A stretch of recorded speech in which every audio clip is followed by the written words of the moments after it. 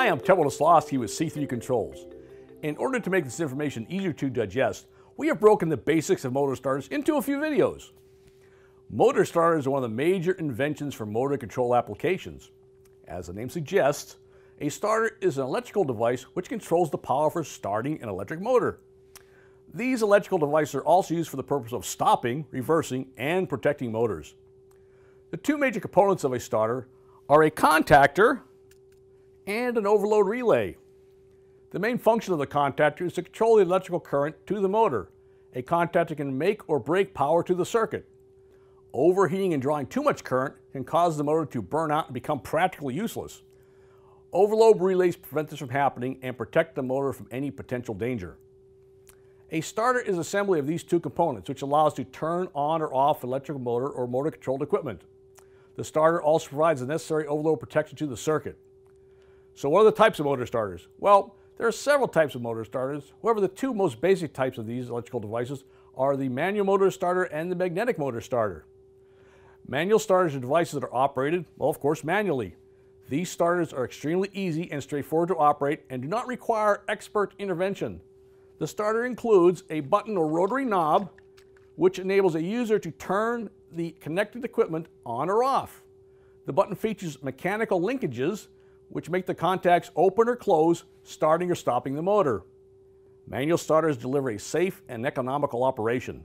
They are compact in size, which makes them suitable for a wide range of applications. They provide overload protection to the motor, protecting it from any potential damage, and they come with a vast choice of enclosures. The initial cost of a manual starter is low, making them a preferred choice over other types of starters. As I said earlier, the second most basic type of starter is the magnetic motor starter. These starters are operated electromagnetically, which means that the motor load connected to the motor starter is typically started and stopped using a lower and safer voltage than the motor voltage. Just like the other motor starters, the magnetic starter also has an electrical contactor and an overload relay to protect the device from excess current or overheating. There are two circuits in a motor starter, a power circuit and a control circuit. The power circuit connects the line to the motor. It provides a transmission of electricity through the starter contacts, the overload relay, and then to the motor. The motor current is carried by the power or main contacts of the contactor. A control circuit operates the contactor to turn it on or off. The contactor main contacts are responsible for allowing or interrupting the flow of current to the motor. To do this, the contacts in the control circuit are either open or closed.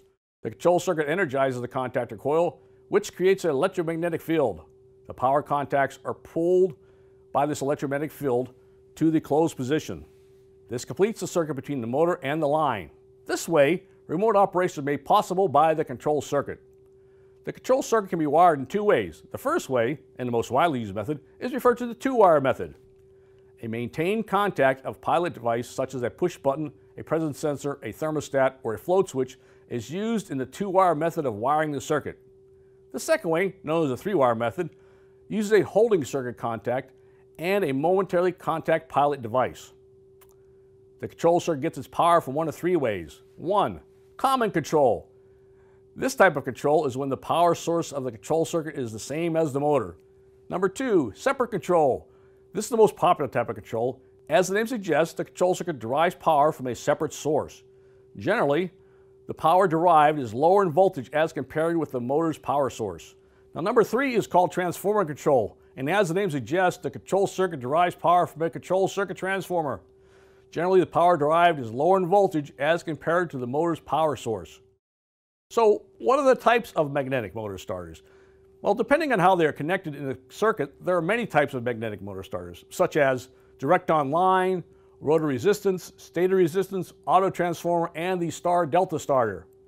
Today, motor starters used on a large scale due to their long list of beneficial features. Here are just a few of those features. Well, they safely facilitate the starting and stopping of an electric motor, of course. The starters are rated by power, horsepower or kilowatts, and current, meaning amperes, to properly match the motor. They provide the necessary overload protection to the motor, and they offer remote on-off control. And these devices allow you to make and break current rapidly for plugging and jogging. There are four fundamental functions a starter has to perform. The first one is control.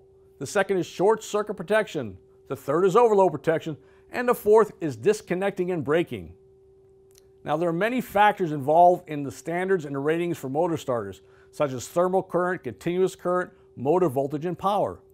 Starters must conform to the standards and ratings from Underwriters Laboratories, or UL, the Canadian Standards Association, or CSA, the International Electrotechnical Commission, or IEC, and finally, the National Electrical Manufacturers Association, or NEMA. C3 controls specialize in IEC. There are other parameters that are important to consider while selecting motor starters, such as time limit acceleration, current line acceleration, control voltage, the number of poles, and operating temperature. We will cover those in a future video. Now, we hope this video has given you a good basic understanding of motor starters. For more information, download the companion white paper at c3controls.com forward slash blog. Thank you and have a great day from C3 Controls.